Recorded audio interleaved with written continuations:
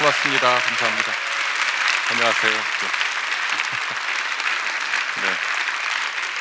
아, 감사합니다. 안녕하세요. 홍해걸입니다. 어, 높 바로 바짝 앞에 계시니까 너무 떨립니다. 네, 어, 여러분들 정말 고맙고요. 어, 아무쪼록 제 강연이 여러분께 작은 공감 하나라도 드릴 수 있기를 진심으로 원하면서 바로 시작하겠습니다. 네, 어, 질문 하나 여러분께 좀 드려볼까요? 맞춰 보십시오. 맞추시는 분께 제가 쓴 책 하나 선물로 드릴게요. 사인해서. 그래 너무 어렵죠. 질병이 모두 몇 개나 될까요? 다 합쳐보면. 여러분 제가 정답을 알려드리겠습니다. 12,420개입니다. 사실은 뭐 아는 분이 이상하죠, 이 질문은. 네. 국제 질병 분류표라고 있고요. 여기에 공식적으로 등재된 질병의 개수는 보시는 것처럼 12,420개죠. 자, 이 중에서 가장 흔한 병은 뭘까요? 아시는 분? 감기입니까? 자, 감기 걸린 분 손 들어 보세요. 오, 많이 드시네요. 자, 감기 아닙니다. 왜 그럴까요? 감기는 네. 1, 2주면 저절로 낫는 병입니다. 여러분이 이렇게 몸에 갖고 다니는 병이 아니죠. 대부분 저절로 낫잖아요. 여러분이 손 들어보세요 할 때 가장 많이 드는 질병이 뭘까요? 정답. 네, 암이라고요? 큰일 나게요. 네. 여러분 정답은 네. 잇몸 질환이 정답이죠. 치주염이라고도 얘기하죠. 입에서 냄새 나고요. 또 피곤하면 입안이 붓고 음식을 씹을 때 피가 묻어 나오고 성인 10명 가운데 7명꼴로 우리 입안에 크고 작은 잇몸 질환이 있습니다. 인류가 앓고 있는 가장 흔한 병은 여러분 정답 잇몸 질환이죠. 하나 더 내드릴게요. 가장 치명적인 병도 한번 여쭐까요? 정답이 뭐죠? 뭐라고요? 에이즈 아니죠? 네. 네, 어떻게 하셨을까요? 정답자가 있네요. 정답입니다. 광견병.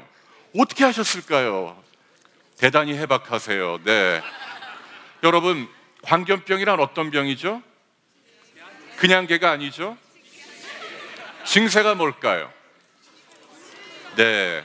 물을 보면 두려워하죠. 대단히 특이합니다. 그래서 공수병이라고도 표현을 하죠. 물을 그냥 쳐다보기만 해도 부들부들 떨고 물을 마시지 못하고 비쩍 말라서 환각이나 환청에 시달리다가 죽는 병이죠.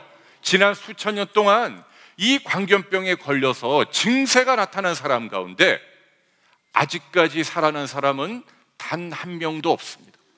완벽하게 사망률 100%고 가장 치명적인 질병은 여러분 정답이 광견병이죠.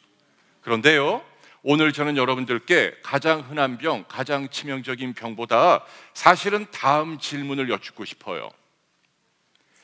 가장 나쁜 병이 뭐죠? 자, 나쁘다는 말은 이런 뜻입니다.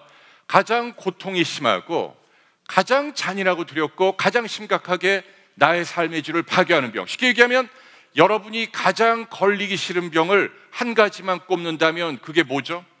어떤 병이 제일 두려우세요? 치매. 그래요. 네, 암도 있고 우울증도 있고. 네, 여러분 죄송하지만 이 질문은 정답이 없습니다. 기네스북에도 정답이 나오지 않습니다. 왜냐하면 네. 고통스럽다, 잔인하다, 두렵다 이게 전부 다 주관적인 개념이죠. 사람마다 다 다릅니다. 누구는 암, 누구는 치매, 누구는 우울증. 그런데 만일 누가 아, 저에게 물어보시면 제가 생각하는 가장 잔인하고 끔찍한 질병은 네, 오늘 제 강연의 주제입니다. 저는 혈관 질환이라고 생각을 합니다. 여러분 혈관이 막히거나 터지는 병을 말합니다. 뇌졸중 그리고 심장병 두 가지가 대표적입니다. 저는 이 두 가지 혈관 질환이 가장 잔인하고 끔찍한 병이라고 생각을 하고 이 점을 여러분에게 특별하게 강조하고 싶어요. 이유는 두 가지입니다. 첫째, 예고피오입니다. 우리에게 유언 하나 남길 수 있는 그런 여유조차 주지 않습니다. 여러분, 암하고 비교해 보십시오. 암도 사실은 대단히 잔인하고 끔찍한 병이 맞습니다. 그렇지만 말기암이라 하더라도 그분이 그 자리에서 바로 어떻게 되는 건 아닙니다. 그 무슨 얘기냐면 암은 온전한 이성을 갖고 두 팔다리 자유롭게 움직이면서 자신의 인생을 정리할 수 있는 여유를 줍니다. 그런데 여러분 중풍이나 심장병은 어떤가요? 갑자기 오죠. 저는 이게 잔인한 첫 번째 이유라고 믿습니다. 두 번째 이유는요. 결과가 대단히 처참합니다. 물론 우리가 주변에 보면 다리를 좀 절거나 몸이 불편한 분들, 중풍 심장병 환자들 가끔 보지요. 그런데 그런 분들은 말 그대로 그냥 가볍게 앓고 지나간 분들입니다. 하지만 제가 말씀드리는 이 심혈관 질환자들은요, 죽고 살 정도로 심하게 온 분을 말합니다. 차원이 다릅니다. 최하가 반신불수, 아니면 사지마비, 아니면 식물인간이나 뇌사입니다. 손가락 하나 못 움직이고 통나무처럼 자리에 누워있게 만듭니다. 대소변도 못 가리죠. 그리고 몇 달, 몇 년 기약 없이 누워있게 만듭니다. 여러분, 제일 끔찍한 게 뭔 줄 아세요? 갑자기 움직이지 못한다는 것 말고 의식이 있다는 거죠. 이게 보기보다 잔인합니다. 여러분들, 제가 주의사항 하나 드릴까요? 나중에 병원에 문안을 갈 때, 예컨대 중풍 환자가 침대에 누워 계시잖아요. 여러분들이 말씀을 함부로 하시면 안 됩니다. 겉으로 볼 때는 움직이지 못하고 말도 하지 못하고 표정도 짓지 못하고 그냥 눈만 꿈뻑꿈뻑하고 계시지만 실제로 다 말귀를 알아듣습니다. 나중에 이분이 깨어나면 누가 무슨 말을 했는지 다 기억을 해요. 그게 중풍입니다. 의식이 있다는 걸 기억하십시오. 제가 예를 들어 볼게요. 어, 몇 년 전에 우리나라에도 개봉한 영화입니다. 잠수종과 나비. 네, 실제로 있었던 사례를 영화로 만들죠. 어, 프랑스의 엘르라는 잡지가 있고요. 여기 편집장 한 분이 어느 날 퇴근길에 자동차 안에서 이 머릿속의 뇌혈관이 갑자기 터집니다. 뇌졸중이 오죠. 자, 이분이 몸이 마비되는데 공교롭게도 코 아래부터 마비가 됩니다. 여러분 상상해 보세요. 어떻게 될까요? 오른쪽 왼쪽 팔다리를 못 움직이죠. 그리고 바늘로 찔러도 아무 느낌이 없습니다. 그게 사지마비죠. 그런데 이분은 사지마비보다 더 잔인합니다. 왜냐하면 혀를 움직이지 못하니까 말도 하지 못하고 음식물을 씹거나 삼키지도 못합니다. 그런데 비극은 이 코 위로 살아있는 거죠. 눈으로 보고 귀로 듣고 생각도 고스란히 남아 있습니다. 얼마나 끔찍해요. 이 사람이 이렇게 잔인한 나락에 빠져서 유일하게 움직일 수 있는 부위가 네, 왼쪽 눈꺼풀 하나입니다. 이 눈꺼풀을 깜빡깜빡 움직여서 작은 책을 하나 씁니다. 이 책을 영화로 만든 것이 잠수종과 나비예요.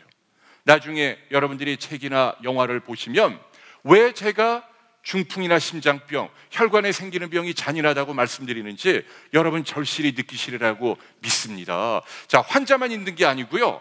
가족들도 굉장히 힘듭니다. 제가 한번 여쭤볼게요. 뭐가 제일 힘들죠? 만일 주변에 누가 중풍이나 심장병으로 갑자기 쓰러지면 이분을 간호할 때 가장 큰 애로사항이 뭘까요?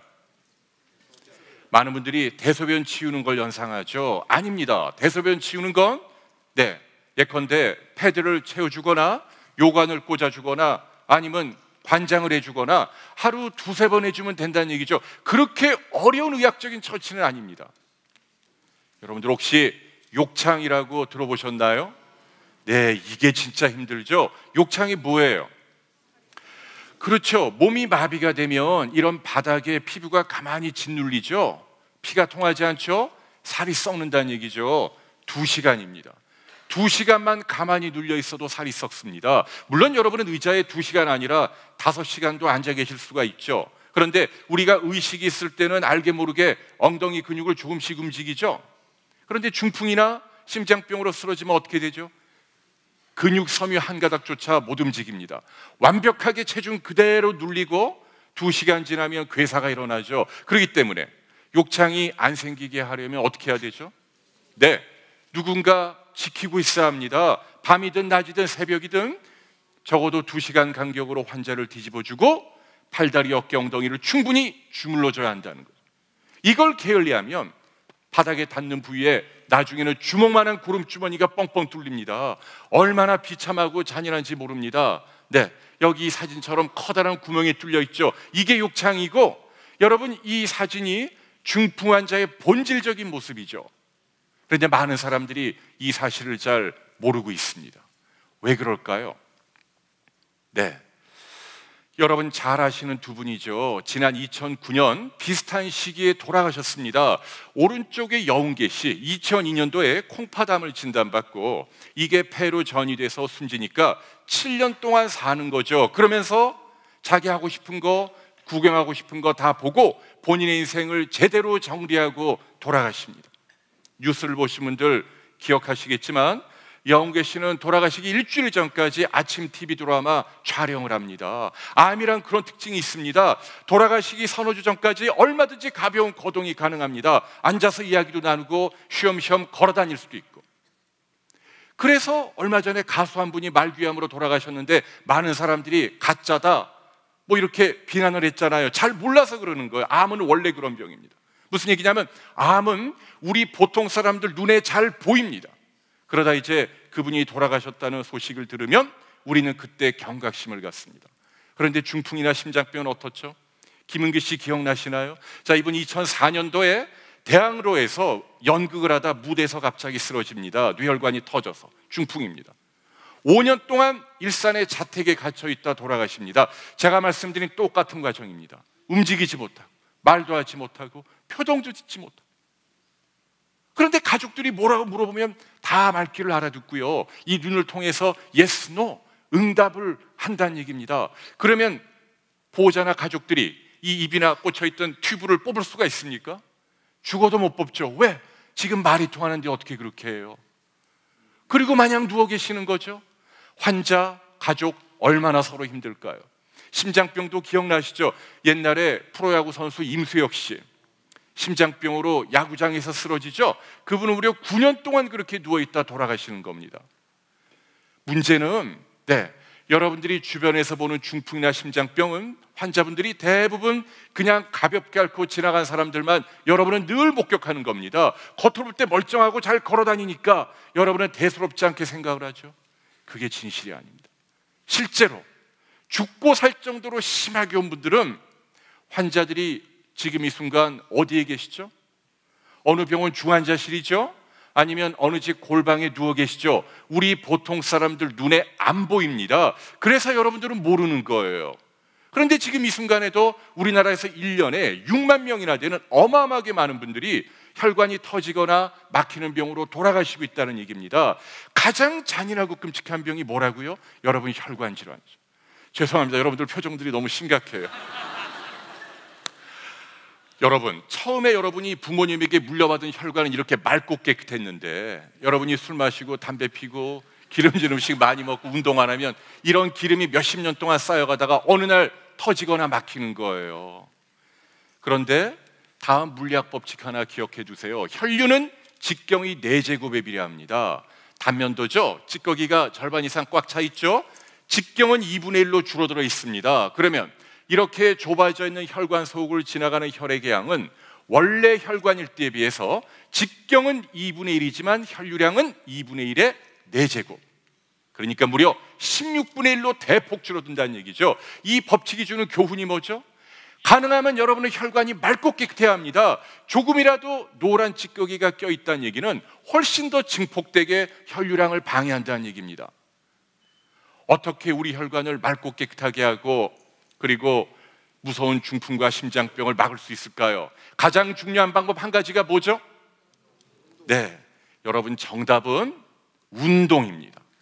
중요한 건 먹는 게 아닙니다. 먹는 것도 중요하지만 제가 볼 때는 운동이 훨씬 더 중요합니다. 왜냐하면 운동을 해야만 혈관을 망치는 세 가지 주범, 혈압, 혈당, 콜레스테롤을 동시에 떨어뜨리기 때문이죠. 운동의 가장 중요한 목적이 혈관입니다. 아침에 아스팔트 길을 조깅합니다. 밀폐된 헬스클럽 러닝머신을 열심히 뜁니다. 뭐라고 비난하죠?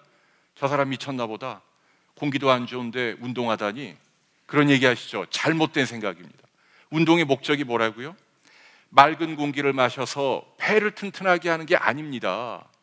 공기가 좀 나빠도 그 사람이 운동을 열심히 하면 혈관이 맑고 깨끗해지고 오늘 말씀드린 비극적인 중풍이나 심장병을 예방한다는 거죠. 그래서 여러분께 강조합니다. 여러분 때와 장소를 가리지 마시고 열심히 운동하십시오. 운동의 원칙은 네 하나만 알려드릴게요. 뭘 해도 좋습니다. 장시간 저강도 방식으로 하십시오. 그게 혈관에 좋습니다. 세게 하는 게 중요한 게 아니라 오래 하는 운동이 좋습니다. 장시간이란 말은 30분 이상을 말합니다. 15분 세게 달았다 그만두는 것보다 시작하면 적어도 30분 이상 하시는 게 바람직합니다. 두 번째, 저강도란 말은요, 운동하시는 도중에 옆 사람과 간단한 대화는 가능하지만 혼자 노래는 부르기 힘든 그 정도가 여러분 체력에 가장 알맞은 운동입니다. 걸으십시오. 가장 보편타당하게 여러분에게 추천하는 운동입니다. 만보계를 차시고 매일 8,000보를 걸으시면 됩니다.